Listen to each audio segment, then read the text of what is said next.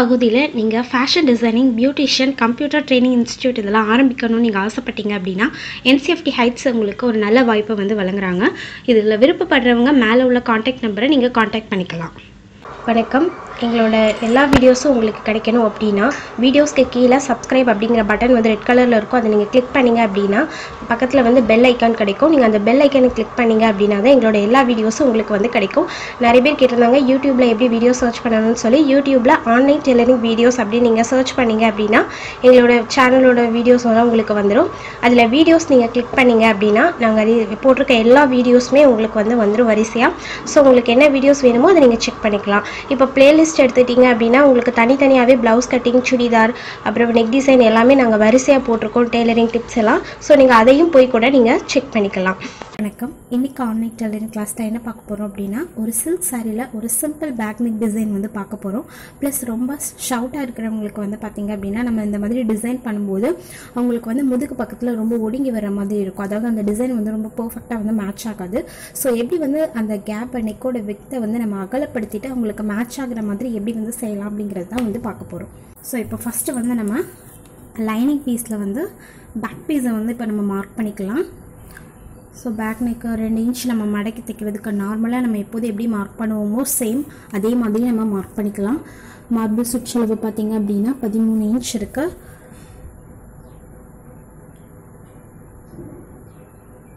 So பன்னெண்டு inch வந்து நமக்கு செஸ்ட் ரவுண்ட் வந்து பன்னெண்டு இன்ச் வந்து இருக்குது. ஸோ இப்போ ரொம்ப ஃபேட்டாக இருக்கிறவங்க அப்படிங்கிறதுனால நமக்கு ரவுண்ட் மெஷர்மெண்ட் வந்து இவ்வளோ ஆனால் நமக்கு வந்து வருது. ஸோ இது வந்து பார்த்தீங்கன்னா ஃபார்ட்டி எயிட் இன்ச் இருக்கவங்களோட ப்ளவுஸ் மெஷர்மெண்ட்ஸ் தான் இது.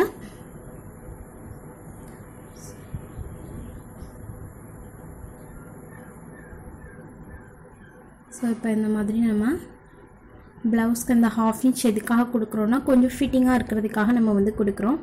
ப்ளஸ் ஆம்கோல் வந்து நம்ம வந்து மார்க் பண்ணிக்கலாம். ஸோ ஆம்கோல் பார்த்தீங்க அப்படின்னா ஃபைவ் பாயிண்ட் ஃபைவ் அதாவது ரொம்ப ஃபேட்டாக இருக்கிறவங்களுக்கு வந்து மேக்ஸிமம் பார்த்தீங்க அப்படின்னா ஃபைவ் பாயிண்ட் ஃபைவ் வரும்.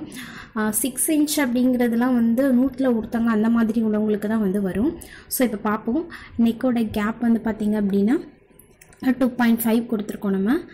நெக்கோட அகலம் வந்து மூன்று இன்ச் கொடுத்துருக்கோம்.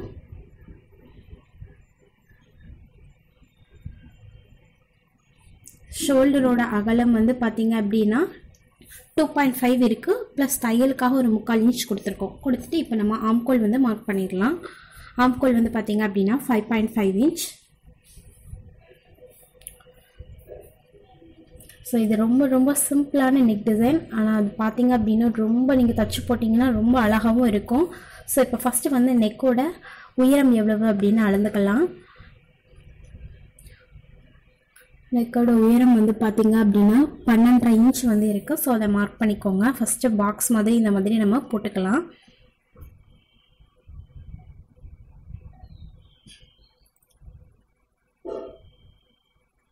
ஸோ இப்போ இந்த ப்ளவுஸை பொறுத்தளவு பார்த்தீங்க அப்படின்னா கொஞ்சம் அகலம் வேணும் அப்படின்னு சொல்லி சொல்லியிருக்காங்க.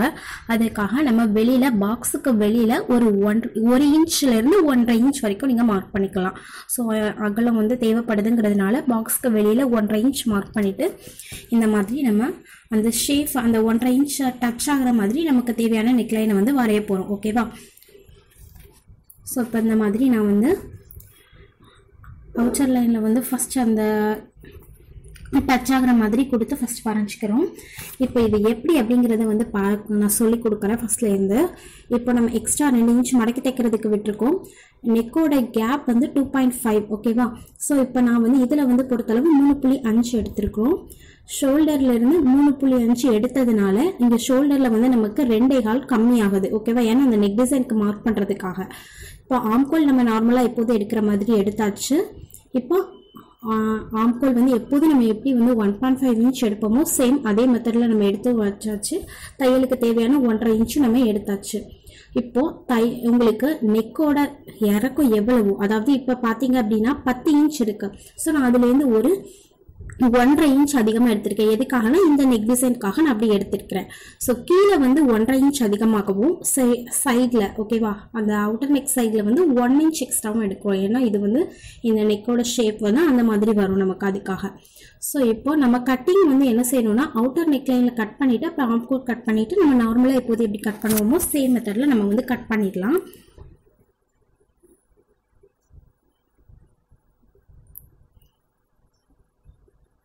ஸோ நம்ம நார்மலாக எப்போதும் கொடுக்குற மாதிரி டூ பாயிண்ட் ஃபைவ் கொடுத்துட்டு ஷோல்டருக்கு எப்போதும் கொடுக்குற மாதிரி கொடுத்துட்டு இந்த நெக் ஷேஃப்காக நம்ம வரையும் போது இந்த ஷோல்டரோட அகலம் வந்து நமக்கு கம்மியாயிருது ஓகேவா நம்ம வேறு எதுவுமே இதில் டிஃப்ரெண்ட்டாக செய்யலை.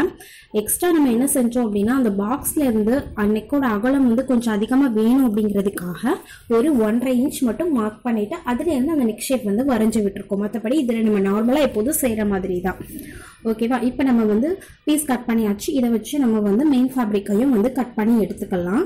இப்போ இந்த இப்போ இந்த நெக் ஷேப் வந்து பார்த்தீங்கன்னா நம்ம இந்த மாடலில் தான் நம்ம வந்து நெக் ஷேப் வந்து கட் பண்ண போகிறோம் ஸோ இப்போ நம்ம இதை கட் பண்ணியாச்சு. உள்ள உள்ள பீஸ் இருக்குல்ல அதையும் அது அந்த நெக் ஷேப்க்கு தகுந்த மாதிரி இந்த மாதிரி வரைஞ்சி விட்டுட்டு நம்ம கட் பண்ணி எடுத்துக்கலாம். ஓகேவா ஃபர்ஸ்ட் அந்த நெக் ஷேப் கரெக்டாக வரைஞ்சிக்கோங்க. வரைஞ்சிட்டு அதுக்கப்புறம் நம்ம கட் பண்ண ஆரம்பிச்சிடலாம்.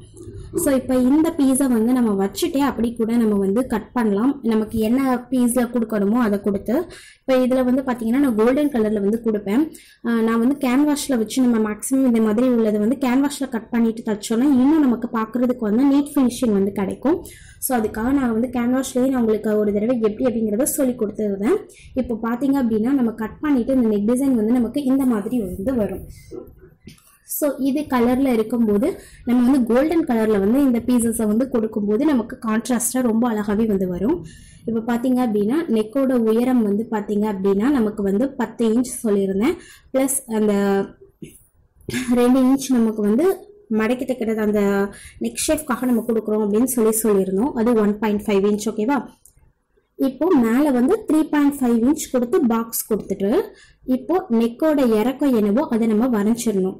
இப்போ அதை வரைஞ்சி முடிச்சதுக்கப்புறம் ஒன் இன்ச் எக்ஸ்ட்ரா விட்டுருக்கோம்ல ஸோ நெக்கோட கேப் டூ பாயிண்ட் ஃபைவ் தான். பட் நம்ம எக்ஸ்ட்ரா ஒரு ஒரு இன்ச் எடுத்து அந்த நெக் ஷேப் கொடுக்குறோம் ஓகேவா அந்த பாக்ஸ் போட்டு அந்த பாக்ஸ்லையும் நீங்கள் அதே நெக் ஷேப்பை வந்து வரையணும். ஸோ இப்போ வரைஞ்சதுக்கு அப்புறமா அந்த நெக் டிசைனுக்கு தகுந்த மாதிரி நம்ம இதை வரைஞ்சி விட்டுட்டோம். இப்போ அந்த நெ அந்த கட்டிங்காக நம்ம வந்து எப்போவுமே கேன்வாஷை பொறுத்தளவு நம்ம ஒரு ஹாஃப் இன்ச்சோ இல்லை முக்கால் இன்ச்சோ நம்ம வந்து அதிகப்படுத்துவோம். சேம் இந்த இதில் நான் வந்து மேலே வந்து ஒரு ஒன் ஒரு இன்ச்சு கீழே வந்து ஒரு ஒன்றரை இன்ச்சு நான் வந்து அதிகப்படுத்தியிருக்கேன். ஸோ இப்போ அவுட்டர் லைனில் வந்து நம்ம நார்மலாக எப்போது எப்படி கட் பண்ணுவோமோ அதே மாதிரி கட் பண்ணிவிட்டு இப்போ அந்த நெக் ஷேப்க்கு தகுந்த மாதிரி நம்ம கட் பண்ணி எடுத்துடலாம். இப்போ கேன்வாஸ் தேவையில்லை அப்படிங்கிறவங்க டேரெக்டாக கூட நம்ம அந்த பீசஸை வச்சு அந்த ப்ளவுஸ் பீசஸில் கட் பண்ணியிருந்தோம் தெரியுமா? அதை வச்சு கூட நீங்கள் செய்யலாம். பட் கேன்வாஷில் பண்ணும்போது இன்னும் அந்த நீட் ஃபினிஷிங் நமக்கு நிறைய கிடைக்கும். ஸோ அதுக்காக தான். ஸோ நமக்கு மற்ற பீசஸ்லாம் எடுத்துடலாம். இந்த மாதிரி. இல்லை இந்த ரெண்டு பீஸையும் லெஃப்ட் சைடு ஒன்றும் ரைட் சைடு ஒன்றும் நமக்கு வர்ற மாதிரி இருக்கும். ஸோ இப்போ இந்த மூணு பீஸையுமே இப்போ பார்த்தீங்க அப்படின்னா நான் கோல்டன் கலர் ஃபேப்ரிக்கில் தான் வந்து ப்ளேஸ் பண்ண போகிறேன் ப்ளேஸ் பண்ணிவிட்டு அதுக்கு பைப்பிங் வந்து அந்த கான்ட்ராஸ்ட் கலர் அதாவது ப்ளவுஸ் பீஸ் வந்து கொடுத்தோம் அப்படின்னா ரொம்ப சூப்பராக இருக்கும். அந்த ஃபினிஷிங் பார்க்குறதுக்கு நமக்கு. ஸோ இந்த மாதிரி தான் நம்ம வந்து ப்ளேஸ் பண்ணிக்க போகிறோம் ஓகேவா ஸோ இப்போ ஃபஸ்ட்டு வந்து கோல்டன் கலர் துணியில் அந்த மிட் அந்த மிட் பார்ட் இருக்குல்ல அதாவது நடுவில் உள்ள பார்ட் இருக்குல்ல அதை வந்து ஃபஸ்ட்டு வந்து நம்ம கட் பண்ணி எடுத்துக்கலாம். எந்த ஷேப்புக்கும் நீங்கள் கொடுக்க வேண்டாம். டேரெக்டாக நீங்கள் அப்படி கட் பண்ணி எடுத்துக்கலாம். இப்போ அடுத்து உள்ள ரெண்டு ஓகேவா ஸோ இப்போ இதே மாதிரி அடுத்து உள்ள ரெண்டையும் நம்ம கட் பண்ணி எடுத்தாச்சு.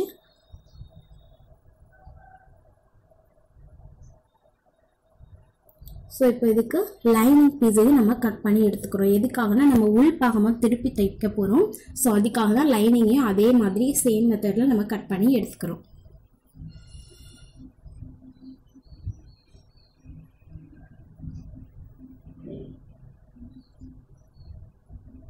ஸோ லைனிங் பீஸையும் நம்ம கட் பண்ணி எடுத்துட்டோம். கோல்டன் கலருக்கு லைனிங் கொடுத்து தான் நம்ம இதை வந்து திருப்ப போகிறோம் சரியா?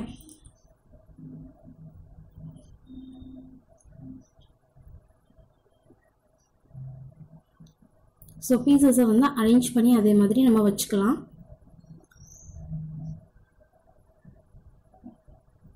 இப்போது ஃபஸ்ட்டு என்ன செய்ய போகிறோம் அப்படின்னா நம்ம இந்த மாதிரி லைனிங் பீஸில் அந்த மிட் பார்ட்டை வந்து ஃபஸ்ட்டு வந்து ஸ்டிச் பண்ணிக்கிறோம். உள்ள உள்ள லைன் அதாவது இன்னர் லைனை மட்டும் ஸ்டிச் பண்ணுறோம்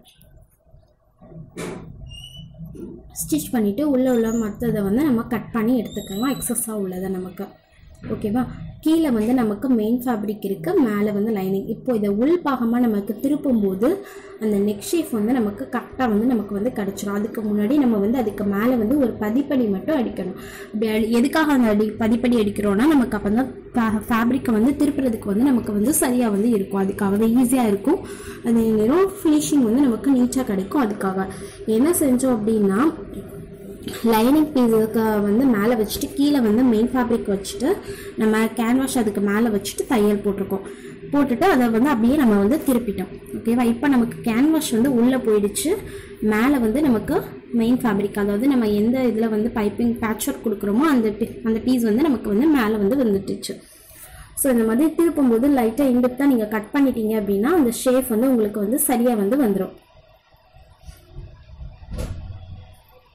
ஸோ இந்த மாதிரி கொஞ்சம் கொஞ்சமாக எடுத்துட்டு அந்த நெக் ஷேப்க்கு நம்ம தச்சு விட்டாச்சு. ஸோ இப்போ இதே மாதிரியே மற்ற ரெண்டு பீஸையும் நம்ம வந்து தைப்போம். அதுக்கு முன்னாடி எல்லா பக்கமும் அந்த கார்னர் ஃபுல்லாமே நம்ம தச்சு விட்டுறலாம்.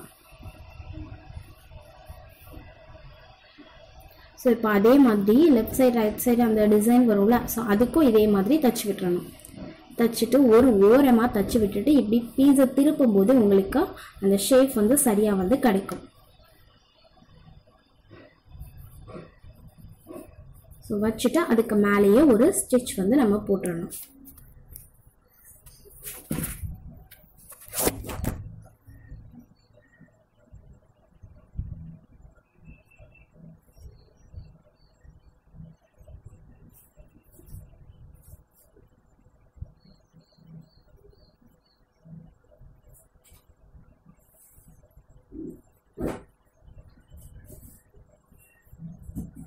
ஸோ இப்போ இதே மாதிரியே இன்னொரு பீஸையும் நம்ம தைச்சிட வேண்டியது தான் ஸோ இதே மாதிரி தைக்கும் போது பீசஸ் நம்ம கரெக்டாக வைக்கிறோமா அப்படிங்கிறத ஒரு தடவை செக் பண்ணிக்கணும் இல்லையா சேம் ஒரே மாதிரி இருக்கிறதுனால பீஸ் வந்து மாறிடுறது கூட வாய்ப்பு இருக்குது ஸோ லெஃப்ட் சைடு ஒரு லெஃப்ட் சைடு தான் இருக்கா அப்படிங்கிறத ஒரு தடவை நீங்கள் செக் பண்ணிக்கணும் இதே மாதிரி தைச்சி முடிச்சுட்டு.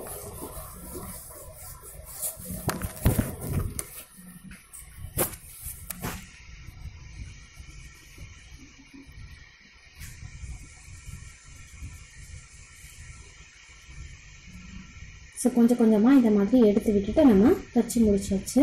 இப்போ இது எல்லாத்துக்குமே வந்து நம்ம பைப்பிங் வந்து அட்டாச் பண்ண போகிறோம் பைப்பிங் வந்து பார்த்திங்க அப்படின்னா மெயின் ஃபேப்ரிக் வச்சு தான் அதாவது ப்ளவுஸ் பீஸ் வச்சு தான் நம்ம வந்து கொடுக்க போகிறோம் ஸோ பைப்பிங்க்கு தெரியும் எல்லாத்துக்குமே கிராஸ் பீஸ் தான் எடுக்கணும்னு சொல்லி. ஸோ அதே மாதிரி ஒன்றரை இன்ச் எடுத்துகிட்டு இந்த மாதிரி கொஞ்சம் கொஞ்சமாக எடுத்து தையல் தச்சது வந்து நம்ம போட்டிருக்க தையல் வந்து உள்பாகமாக இருக்கணும் துணிக்கு. ஸோ அந்த மாதிரி எடுத்துகிட்டு கொஞ்சம் கொஞ்சமாக இந்த மாதிரி எடுத்து விட்டு நம்ம கை மூமெண்ட் கரெக்டாக கொடுத்து இந்த மாதிரி பைப்பிங் வந்து அட்டாச் பண்ணிட வேண்டியது தான் ஸோ நம்ம தச்சிருக்க எல்லா பீசஸுமே நம்ம அதே மாதிரி பைப்பிங் வந்து அட்டாச் பண்ணணும். அந்த மிட் பார்ட்லேயும் நம்ம இதே மாதிரி பைப்பிங் வந்து அட்டாச் பண்ணிடுவோம். ஸோ இப்போ ரெண்டு பீசஸ்க்குமே அட்டாச் பண்ணிட்டுருக்கோம் இப்போ அதே மாதிரியே தான் கொஞ்சம் கொஞ்சமாக எடுத்து விட்டு இந்த மாதிரி பைப்பிங் வந்து அட்டாச் பண்ணணும்.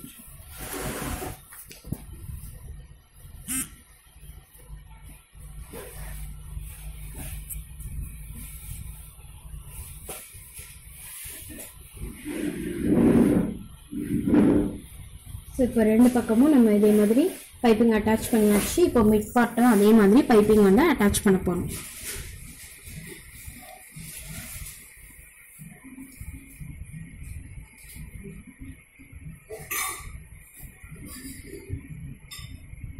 ஸோ பைப்பிங் அட்டாச் பண்ணும்போது இதே மாதிரி செய்யும்போது பீசஸ் வந்து ரொம்ப இழுக்கக்கூடாது. நீங்கள் அப்படி இழுக்காமல் ஸ்டிச் பண்ணீங்க அப்படின்னா தான் உங்களுக்கு அந்த பைப்பிங் வந்து கரெக்டாக வந்து கிடைக்கும். அதே மாதிரி ஈவனாக வந்து நீங்கள் வந்து தையல் போடணும். ஒரு பக்கம் தையல் அதிகமாகவும் ஒரு பக்கம் தையல் கம்மியாகவும் இருந்தால் சரியாக வராது. நான் பைப்பிங் டிப்ஸ் வீடியோ வந்து நம்ம ஏற்கனவே வந்து ப்ரீவியஸ் வீடியோஸில் போட்டிருக்கோம் நிறைய. ஸோ அதை பார்க்காதவங்க அதை போய் செக் பண்ணீங்க அப்படின்னா உங்களுக்கு இன்னும் கூட கிளியராக வந்து புரியும்.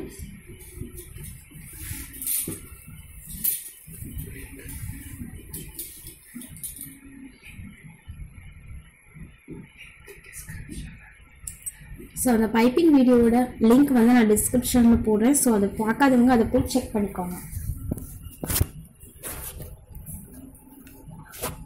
ஸோ இப்போ நம்ம வந்து எல்லா அந்த மூணு பீஸையுமே பைப்பிங் வந்து அட்டாச் பண்ணியாச்சு. ஸோ இந்த மாதிரி நம்ம வந்து லைனிங் பீஸையும் பேக்மிக் டிசைன் கட் பண்ணி எல்லாமே நம்ம ஸ்டிச் பண்ணி வச்சுட்டோம். இப்போ இந்த இதே மாதிரி பீசஸை ஃபுல்லாக வந்து நம்ம அரேஞ்ச் பண்ணணும். கொஞ்சம் கொஞ்சமாக குண்டூசி வச்சு அந்த நெக் ஷேப்க்கு தகுந்த மாதிரி இந்த மாதிரி எடுத்து விட்டுட்டு கரெக்டாக அந்த மாதிரி டேபிள் எதுலையாவது நீங்கள் ப்ளேஸ் பண்ணிக்கோங்க. ப்ளேஸ் பண்ணிவிட்டு குண்டூசி வச்சு கொஞ்சம் கொஞ்சமாக அந்த நெக் ஷேப் நீங்கள் எடுத்து விட்டுட்டு நமக்கு அது தெரியும் நம்ம எவ்வளோ இன்ச் மார்க் பண்ணியிருக்கோம்னு சொல்லி. ஸோ அதுக்கு தகுந்த மாதிரி எடுத்துட்டு கொஞ்சம் கொஞ்சமாக நீங்கள் வந்து தையல் போடணும். ஸோ கொஞ்சம் கொஞ்சமாக இந்த மாதிரி எடுத்து விட்டுட்டு நம்ம தையல் போடணும்.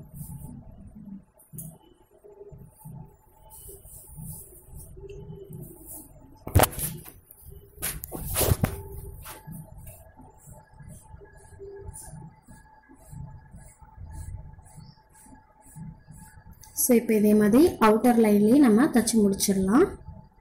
ஸோ இது பார்க்க கொஞ்சம் உங்களுக்கு டிஃபிகல்ட்டாக இருக்கிற மாதிரி தெரியும் பட் நீங்கள் ப்ராக்டிஸ் பண்ணீங்க அப்படின்னா ஈஸியாக நீங்கள் வந்து செஞ்சிடலாம்.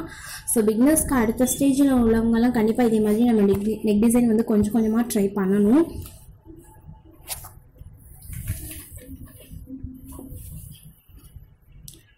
ஸோ இப்போ நம்ம வெளியில் உள்ள அவுட்டர் லைன் தச்சு முடிச்சாச்சு. இப்போ மீதி உள்ள அந்த குண்டு சேஃப்லாம் நம்ம எடுத்துடலாம். எடுத்துகிட்டு இப்போ இதுக்கு மேலே ஒரு லேஸ் வந்து நம்ம அட்டாச் பண்ண வந்து போகிறோம் ஸோ நான் வெளியில் உள்ள அவுட்டர் லைன் மட்டும்தான் இந்த மாதிரி லேஸ் வந்து அட்டாச் பண்ணுறேன் நம்ம வந்து ஏன்னா இன்னர் லைனில் வந்து நம்ம வந்து பைப்பிங் வந்து அட்டாச் பண்ணியிருக்கிறதுனால அதுக்கு லேஸ் வந்து தேவையில்லை. ஸோ இந்த மாதிரி அவுட்டர் லைனில் ஒரு சின்ன லேஸ் இந்த மாதிரி அட்டாச் பண்ணால் நமக்கு இன்னும் ஸோ பார்த்தீங்கன்னா உங்களுக்கே தெரியும் எவ்வளோ நீட் ஃபினிஷிங் வந்து நமக்கு வந்திருக்கு அப்படின்னு சொல்லி. ஸோ இந்த வீடியோ உங்கள் எல்லாருக்கும் பிடிச்சிருக்கும் அப்படின்னு நினைக்கிறேன். இந்த வீடியோ உங்களுக்கு பிடிச்சது அப்படின்னா லைக் பண்ணுங்கள் ஷேர் பண்ணுங்கள் ஏதாவது டவுட் இருந்தால் கமெண்ட் பண்ணுங்கள் அதுக்கு முன்னாடி மறக்காமல் எங்கள் சேனலை சப்ஸ்கிரைப் பண்ணுங்கள் எங்கள் எஃபி பேஜை ஃபாலோ பண்ணுங்கள் எங்கள் website ID online tailoring videos dot com நன்றி.